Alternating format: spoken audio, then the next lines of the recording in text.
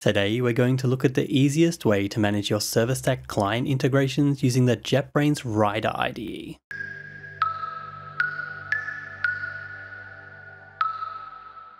Up until recently, managing your ServiceStack client integrations for .NET languages without Visual Studio meant you needed to use the .NET X tool from a terminal. And this can still be done for those that prefer using the command line tools, but now you can have the same plugin support as other JetBrains IDEs while using C Sharp, F Sharp, VB.NET or TypeScript right from the Solution Explorer in Rider. Installing the plugin can be done from the settings menu under plugins and searching for ServiceStack in the marketplace. Once installed, restart your IDE and you can now right click on any of your projects and use add ServiceStack reference. This will prompt you with a dialog requiring the host address of your ServiceStack server you're integrating with, as well as a file name.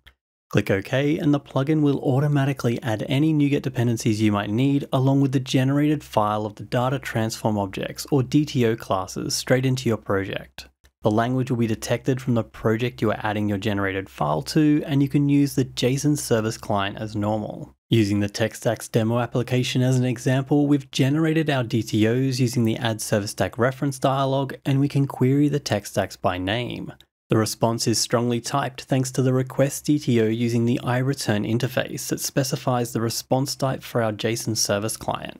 Using the response, we get autocomplete from the results property since the type is known at compile time. Dumping these results to the console, I can see our search has returned the expected structured data. If you are developing the services as well as the client, you can easily update your generated DTOs as your service changes using the action menu or by right clicking on the DTO file and going to Tools, Update ServiceStack Reference.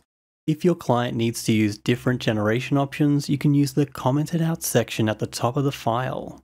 To change generation options, remove the two forward slashes from the option you want to override and populate the value you want after the colon.